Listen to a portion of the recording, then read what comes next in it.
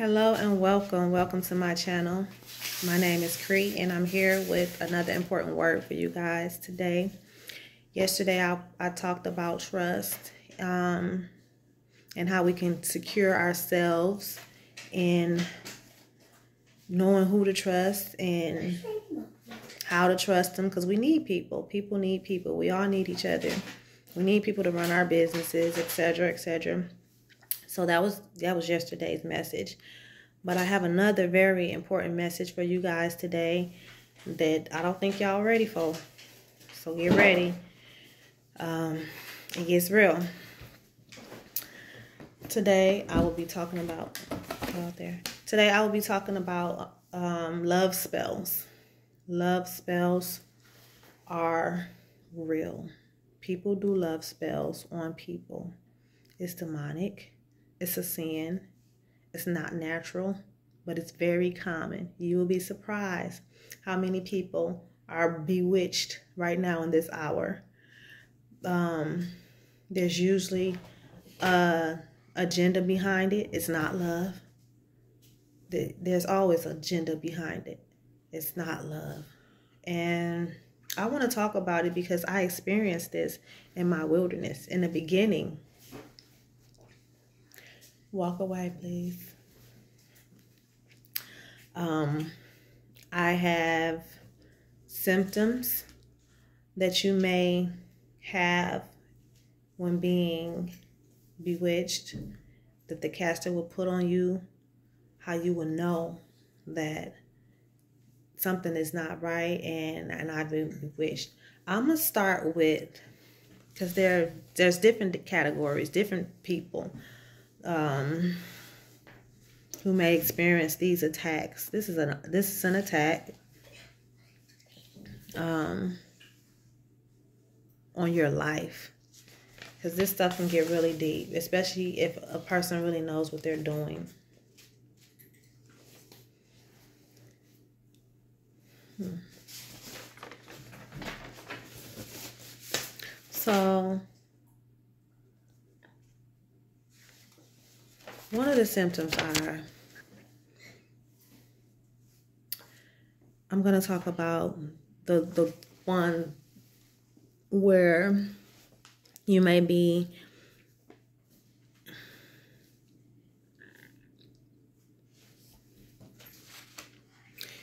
you may find yourself in being bewitched by a person that you may not even like. Okay? You not intimately at, at least. So now Asia. My apologies. So you may be bewitched by a person who you may not even like, and all of a sudden you're having a lot of thoughts. You're thinking about this person often, and you're wondering why do I keep thinking about this person? This person is in my dreams. Um, I'm at work. I'm trying to work. I'm thinking about this person heavily. And I don't even like this person. It's it's weird to you. It's not the the thoughts are are good or or poss- or romantic or whatever, but it's weird because you know that you don't even look at this person in this type of way. You you've never or you you didn't you know you you never wanted to be intimate with this person or or build with this person in that type of way. Um the energy that you receive is is it's like a bond. Now the enemy is a copycat and he he tries to do things like god does it. So you will feel like this telepathic bond between you and the caster. Um, another another category of people who might have to who might experience this is more like couples couple so for instance you're in a in a relationship with your husband with your wife with your boyfriend with your girlfriend and there's someone else who's interested in your wife or your husband. That someone else is the caster. your relationship will could possibly just hit rock bottom. Um, you will feel like whether whether it's the man or the woman, you will feel like you don't even want to be with this person anymore. Um, you want to be with the caster for some reason. All of a sudden, you you having a a strong emotion, an energetic bond with the caster, and and as far as your relationship that was possibly perfectly fine, now you're ready to leave it.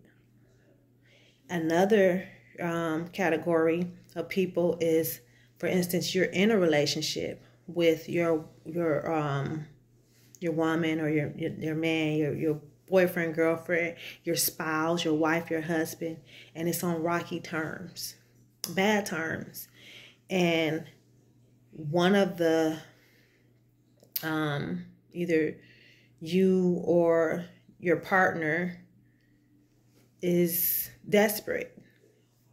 So they may they they may seek um, information on how to do a love spell on their own husband wife boyfriend girlfriend man you know um, just so they can be attached to them uh, they may they may feel a, a breakup coming or a divorce coming and and it's like desperate measures. There's always a, an agenda behind it, though. It's not love. It's more like I might I may need this. I need this person to do this. I need this person uh, to be close to me so I can will them in for this reason or that that reason, whatever the reason may be. Um, for me, in my experience, I believe it was because the man that I was with was with was trying to be with other people. And I was I was I'm I'm I usually feel like I'm not to cheat on you. If it's so bad, I'm I will leave before I cheat on you cuz I don't I don't want to share my goods with this person and you. But I but I'm a human being, so if I care or love you, then of course I'm going to work with you and forgive you. But he knew that he knew the type of person that I was. So my I believe that the reason for me being bewitched was just so that I can accept what he was doing. Because when you're bewitched like that, it doesn't matter what you go through or what happens, you're it's like you're stuck. I'm not I'm not leaving this man. The thought of leaving this man is killing me already. We're not even at that point. So, but what do, what do I see? What why would I stay? Why would I say do I feel do I think that is is um it it will be better? Can get better? I don't think that there's no hope because he's constantly doing it, right? Um, I don't know if there's any hope because he's constantly doing it. This is just my experience. And I found out that the person was dealing and dabbling in dark arts here and there um, from what I knew, from what I found out, because of course I didn't know right away. But um, I knew that I didn't want to leave this person no matter what. And I didn't understand why. How could I be mistreated? Not necessarily you know, it was just I was just I was looking like the stupid one. Like, okay, he's never gonna stop doing this and you're never gonna go anywhere. You're never gonna there's never gonna be a solution to this problem. It's just this is just what it is the Lord will allow things like this to happen until you get a clue, until you realize. Because if you're with a person like that and and they're bewitching, because and you never really know, but they're doing this to you. You know, God is a revealer, especially with His children. Now we we may be covered in the blood of Jesus but if we're still deciding to to be with this person, dealing with this person, he's going to allow them to keep doing it because you haven't really learned from it. That's just one lesson. You know, there's different strokes for different folks, but that's just one lesson. That's just one reason why the Lord will allow these things to happen.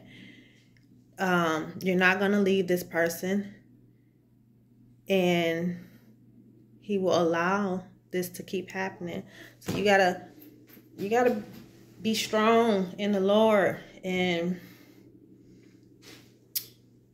I almost got really super personal. but um yeah, you gotta you gotta be strong in the Lord and it will backfire. Once you come to your senses and realize that nope, I don't care. I'm not dealing with this. This is not the this is not my portion, okay? This is not what, what God has for me. It's gonna it's gonna fade. It's gonna fade. And you'll be able to move on and live your life. But if you come to that conclusion, like oh, I'm done, and then you go back in the trance, you weren't done. You still dealt with it. And I, I don't know every way that these spells are even done um, I've heard of some different things. I know the most potent is usually during a type of sexual intercourse that may involve um, candles, drugs, liquor. Um, and then I know that sometimes people use your clothing. There's so much stuff that these folks got going on, um, these witches and these warlocks. I've learned a lot of it though. So um, I'm just I'm trying to help.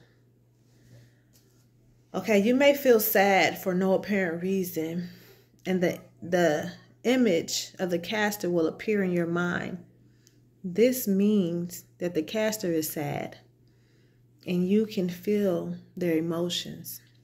So you may be sad about something and you don't understand why. Your caster, that bond, that that spell, that energy is feeling emotional about something and you can feel it. Or it may be a universal thing where there's a like a full moon or something and the potent of the the spell. The spell is more potent, and um, those are effects that you will get. Um, for marriage or a long term commitments, you may feel your attention and affection instantly shifted from your partner. I think I talked about this to the caster.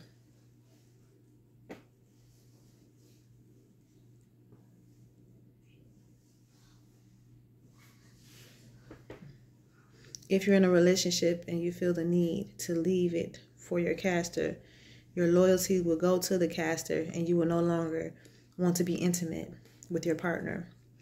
You will come to a point where you are willing to do or give up everything to be with the spellcaster. You won't care what others will say about you. Only thing on your mind is the caster. For stronger or constant love spells, you will love them more than your own life. You may act like a slave or become like a, a martyr. You will follow and believe whatever the caster says. You will no longer know your value. You will lose your family, your friends, and your world will revolve around the, the caster without you even realizing it. Um, so not only I didn't experience that because it didn't go that far, but I know I have some family members that I love very, very much. And it got to that point with them and their partner. They were gone. They were so far in love that it didn't matter what they did.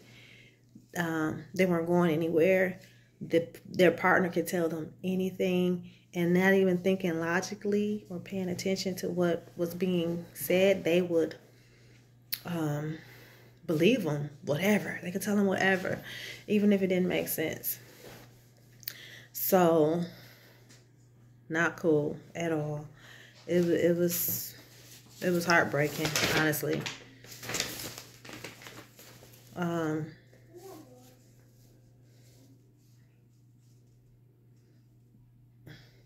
If your partner or spouse casts this, this type of spell on you, you may feel it is love, but you will be obsessed with him or her, and your relationship will become toxic.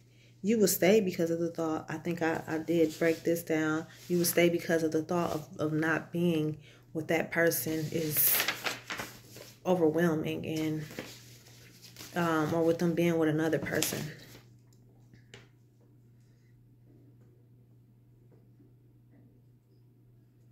You can feel the caster's energy if they're always, they will feel like it's, you can feel their energy, the caster's energy, as if they were all always with you, like, like you, like you need to, you need to get to them. Like they're, they're always there. They're always on your mind, you know? Um,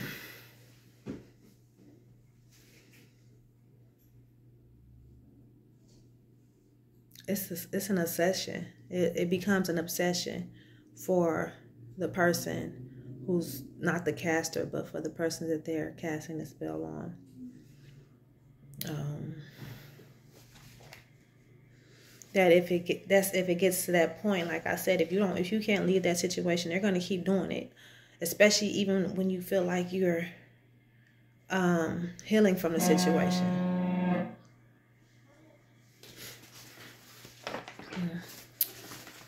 So um if you don't really like the person, but but you're dreaming about them. Say you don't really like this person. Why am I thinking about this person so strongly? I don't I've never thought intimately of this person. Um, I've never, you know, it, it becomes weird.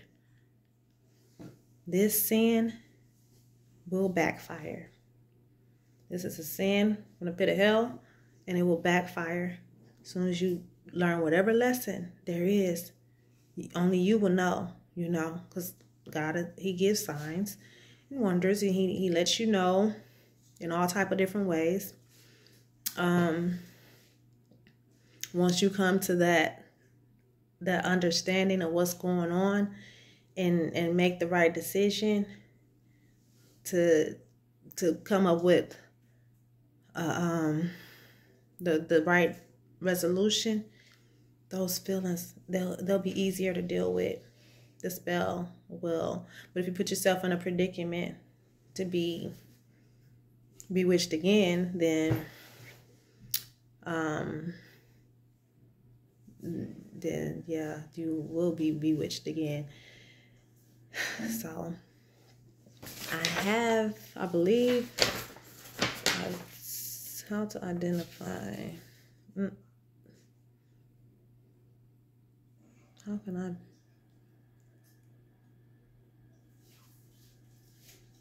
There's always an agenda behind it. They may need you around for some reason. They may be casting a spell on you because they need you. They need your connection. They need you for, it could be um, financial reasons or maybe they don't they don't want you but they don't want to see you with someone else um, there's all type of lessons for different folks, different strokes, different folks. God is trying to tell you that you need to get away from that situation, do something about that situation. Now, if it's real love, do we know what real love is? We know what real love is. Love doesn't hurt. I know people say love hurts. You go through things, but love feels good. Um, love isn't manipulation, it isn't deception. Um, especially to the point where you want a person to be so crazy in love with you. That's sick. That, that they're obsessed. Um.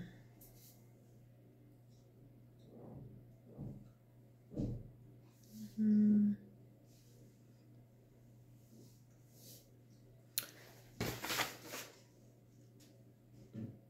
How how are these people learning how to do these things? It's becoming more common. They're learning this from witch doctors. They're going to places. They're seeing people. They may even know somebody who does these things, who shows them how to do these things. And it's a sin from the pit of hell. It will backfire. You know, I don't know how long it may take. It can make it could take years if you don't catch on.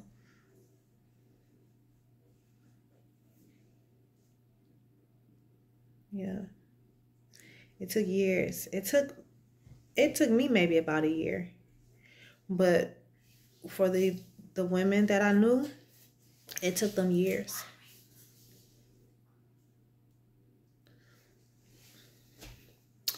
Well, that's all I got for you guys today. I hope this lesson was um, very in in very important. It was an important message. I hope that this message helped someone, helped you, or someone that you may even know. These signs are real. Um, love spells are real. real. It's usually done through intercourse or objects took into the witch. It's a lot going on in the world right now with this witchcraft. And I'm not afraid to talk about it. Some people may be afraid to talk about it because it's embarrassing, and some people might feel like, oh, this person and that person ain't gonna believe me and they gonna think I'm crazy. But that's not my situation. I'm gonna talk about it. I, I want you guys to know you it's your choice to believe me or not. But I'm definitely gonna put it out there. I wanna help you. I wanna help whoever. I don't want nobody being tricked, manipulated, deceived, mistreated. Um and I have no problem with doing that. So if you have any questions, talk to me about it. And I'll tell you what I know. This this message, this word was so so neat. It was pressed on me. I got so I had I got so much um I had so many it, it, it just wouldn't wouldn't leave my spirit.